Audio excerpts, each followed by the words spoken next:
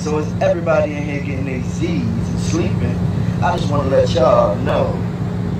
Back to my regular schedule. Back to this.